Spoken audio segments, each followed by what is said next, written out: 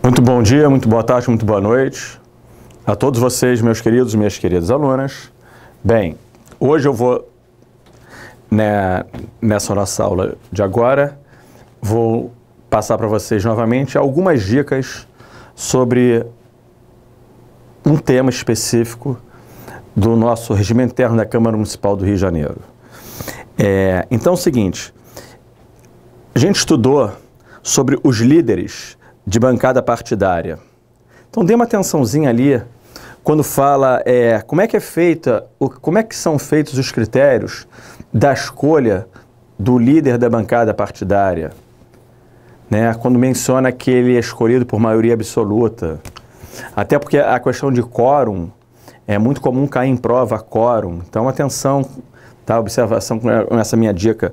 Outra questão, procurem assimilar bem aqueles conceitos que eu até tenho comentado, conceito de bloco partidário, conceito de bancada partidária, sabendo diferenciar uma coisa da outra, pegando aqueles conceitos, tá?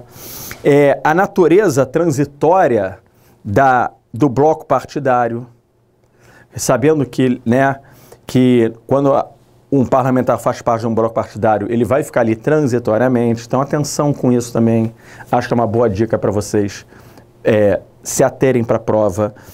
As sessões, quanto à natureza das sessões, nós vimos que temos sessões ordinárias, extraordinárias, sessões solenes, sessões especiais, sessões permanentes.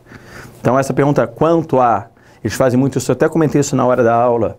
Atenção, que eles gostam de fazer perguntas sobre isso, ainda mais que nesse aspecto, quanto à natureza, nós temos classificados no regimento interno cinco tipos de natureza Tá? Então, dê, dê uma atenção sobre isso.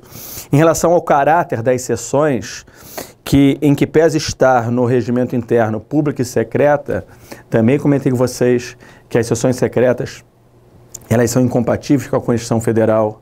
Então, vai aí uma outra dica. E, finalizando esse pedaço do nosso programa, é, atenção também com os conceitos de questão de ordem do dia, o que, que é ordem do dia, o que, que é questão de ordem. Então, sempre bom vocês ficarem presos, se atendo a, a conceitos. A, até vamos recordar dentro do módulo, eu comentei que é comum, né, é, que vocês tenham dúvida na prova, que a matéria é muito extensa.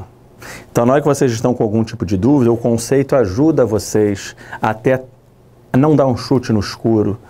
E finalizando, a gente também já viu, né, e o regimento interno fala sobre quais são as hipóteses de suspensões das sessões. Então, deixa passar isso despercebido, não. Dá uma atençãozinha nesse contexto, ok?